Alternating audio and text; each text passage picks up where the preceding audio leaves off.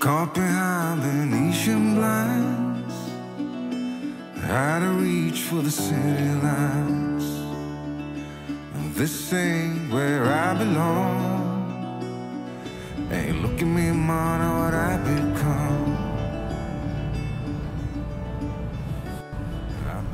今回は地元の方におなじみの北海道上川郡清水町に位置する剣山に登りますまずは登山口となる剣山神社まで車で向かいました。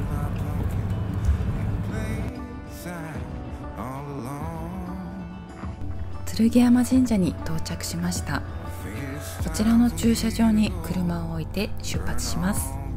こちらで安全登山を祈ってから歩きます。lost along the way Fell between the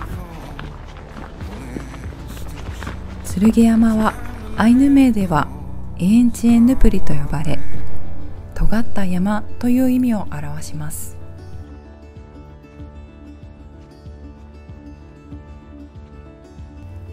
こちらの登山口で登山届を出すことができます。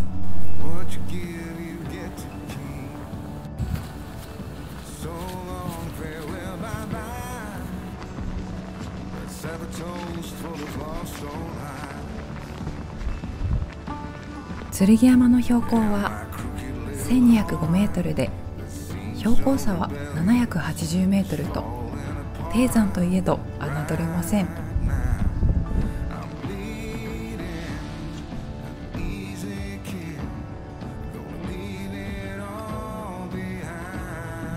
あ今日は天気が良くてでも誰も登山者がいないけど動物の足跡がいっぱいあります爪かな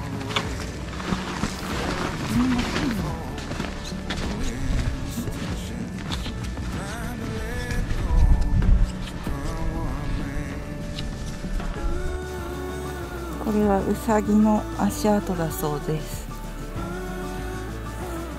ごい。ずっと続いてます。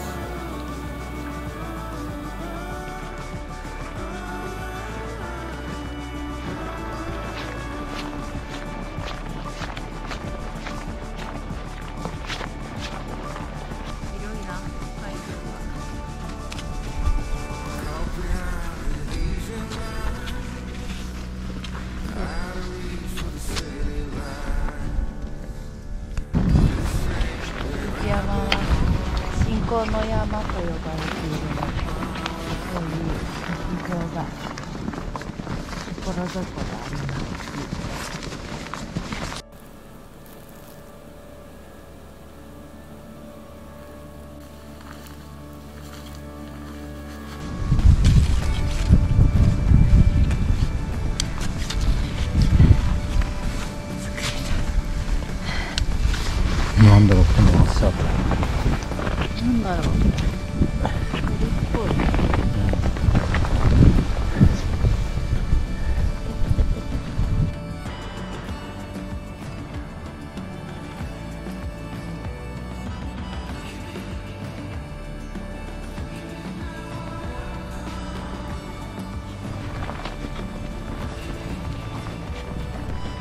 標高を上げていくにつれて少しずつ雪が深くなっていきます。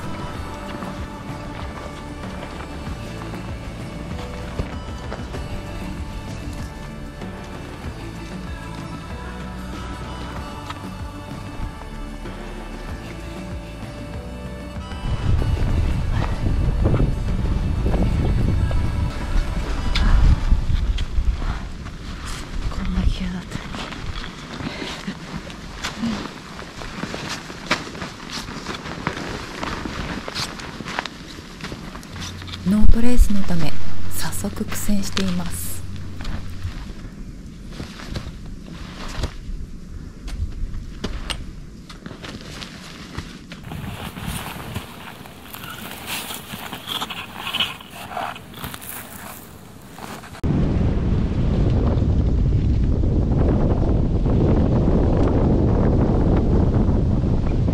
この日は風速15メートル以上あり寒さが厳しい登山です。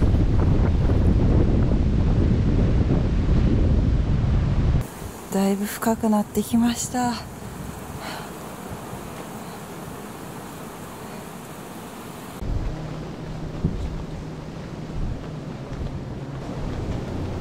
ラッセルが必要な部分が多く体力と時間を消耗します。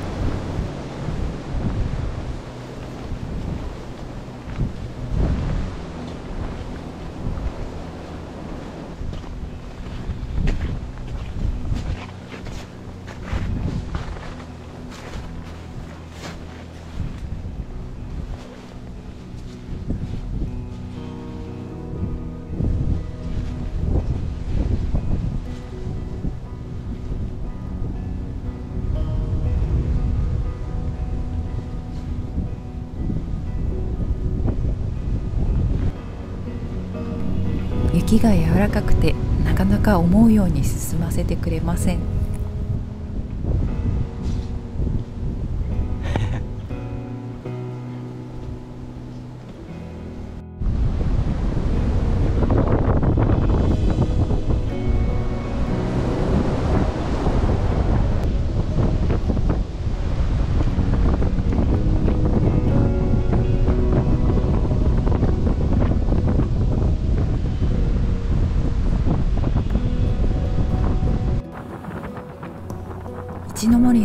近づくにつれて太ももの高さほどの深い雪が覆うようになりました。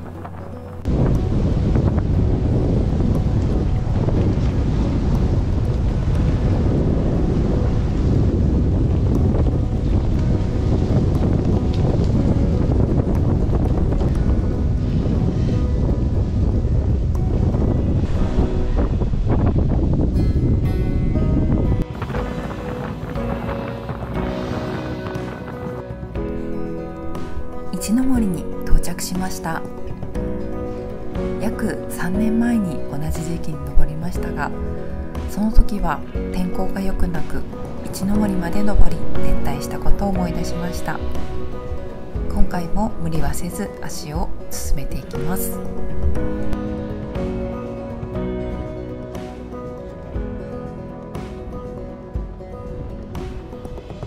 寒さが厳しいためフル装備で臨みます。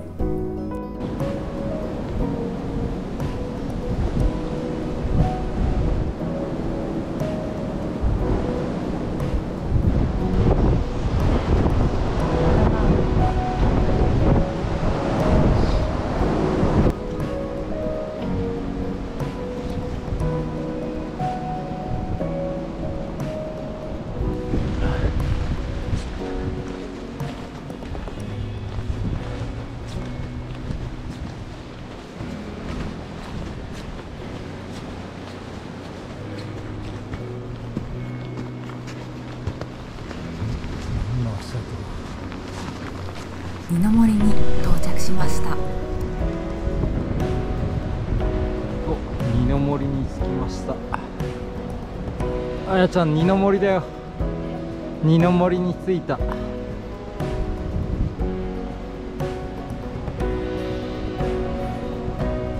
なんか戦隊もののヒーローみたいだな。ゴレンジャーピンクってやって。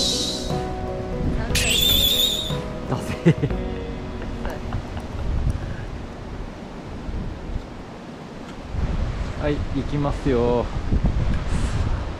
歩歩ってないさ冷えるからね。歩ってくおすごい十勝平野が綺麗に見える。あーでもちょっと風が強くて埃が舞い上がってるね。あーここあったかい。うん風がない。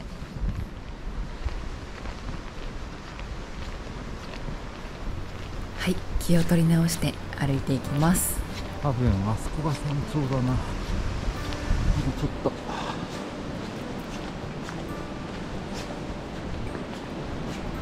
いい道だ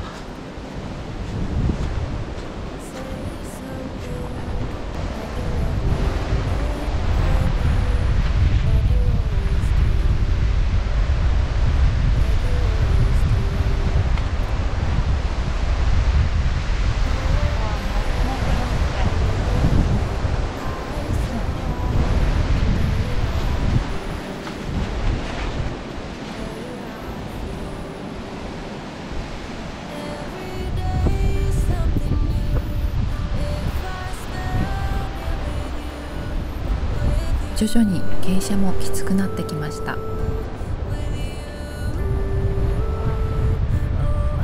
いいよロープ信じて。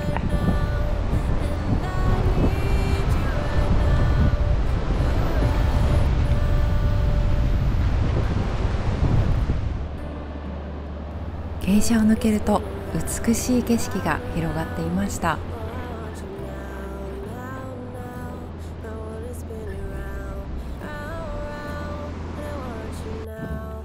少し小腹が空いたので前日に購入した龍月のアンチーズ黒豆大福をいただきます。これがとても美味しいんです。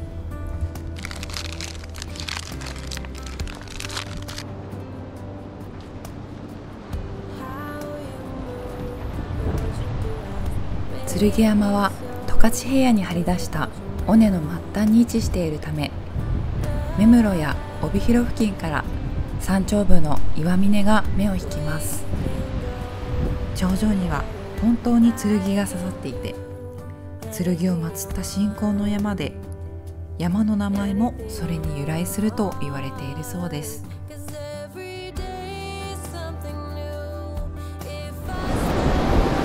はいここが山頂ですと言いたいところなんですが山頂はあちらの剣が見える剣山です。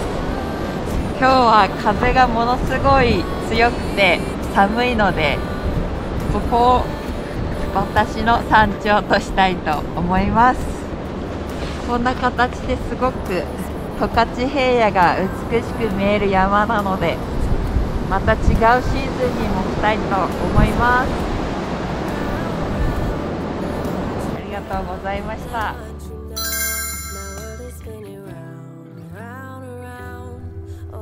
雪山は特に下山時に事故が多いので帰りも足元に気をつけながら慎重に歩いていきます。い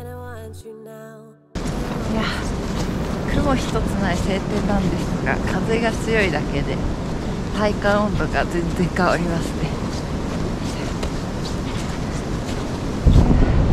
いやここら辺はすごい歩きやすいですね。山頂近づいてくると急勾配になるのでかなりきついんですけど帰りは比較的緩やかな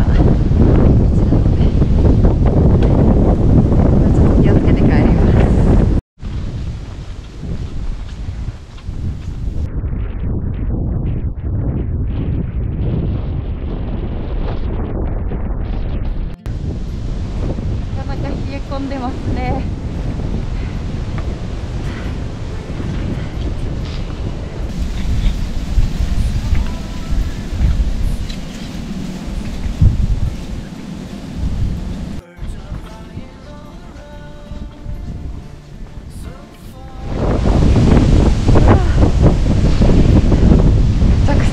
は風が強くて結構過酷な登山となりました。まあでもね年始から美しい山を歩けたので、えーよしとします。まあねちょっとね登頂を目指すとかなり個人的には危なく感じたので途中で撤退してよかったなと思います。はい。やっぱりね北海道は日高山脈がごく大きく連なってるのでもうね十勝平野が美しく見えてとてもね最高の山ですね。また季節を変えて楽しんでこれたらなと思いますのでまた動画でもお届けできたらと思います、はい、それでは今回も最後までご視聴いただいた皆様ありがとうございました。また次回の動画でお会いしましょう。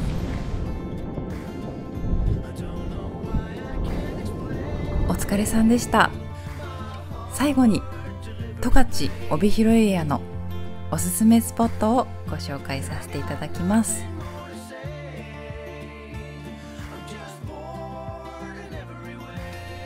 まずは帯広に本店があるマルセイバターサンドなどで有名な六花亭に行きました。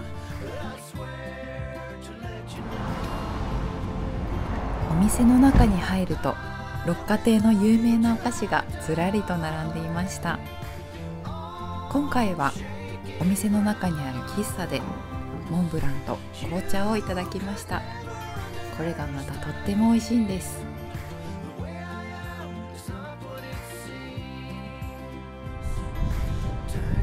続いて道の駅ガーデンスパ十勝川温泉に向かいました。ちらの十勝川温泉はモール温泉でお肌がすべすべになってリフレッシュすることができます。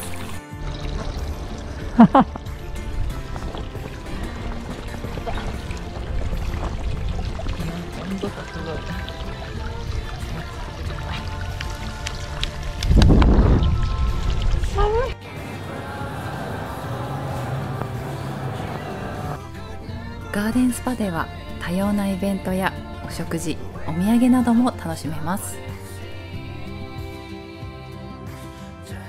今回は貴重な犬園樹の蜂蜜とパンケーキに使える有機そば粉を購入しました。続いて向かったのはトスカチーナ龍月です。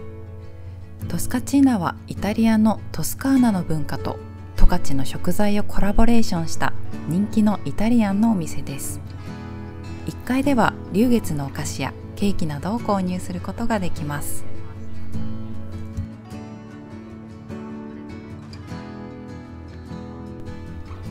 今回は2日連続でトスカチーナに伺いました。1日目はエビとスモークサーモンのクリームピザジェノベーゼソースをいただきました。ちらはセットにできるさつまいものミニパフェです。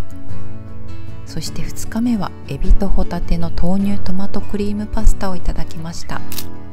贅沢ですね。続きましてこちらは高橋まんじゅう屋です。地元の方に高まんの愛称で親しまれています。1954年創業の老舗でお店にはいつも長い列ができています。大判焼きや肉まんが人気でふわふわの蒸しパンやソフトクリームなどもあります。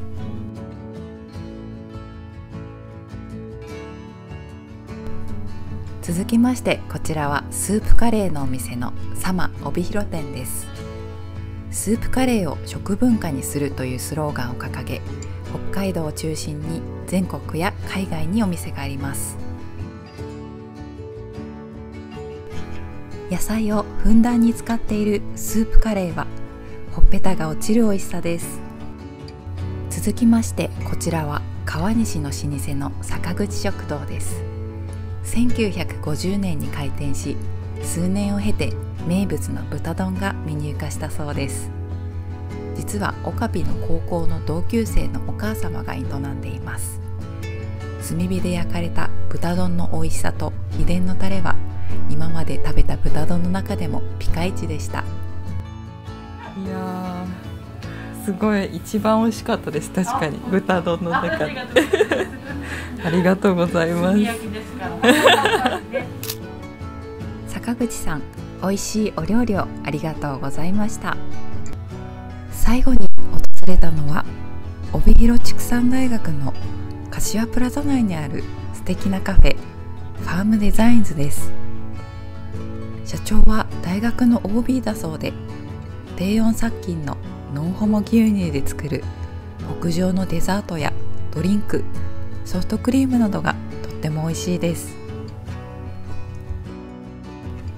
今回はスパイスが効いたチャイティーそして濃厚な牛のチーズケーキそして黒ごまと白玉のパフェをいただきました。大満足です。今回もご視聴いただきましてありがとうございました。今年もマイペースに歩んでまいりますので引き続きどうぞよろしくお願いします。2022年も皆様にとって素敵な笑顔があふれる年になりますよう願っております。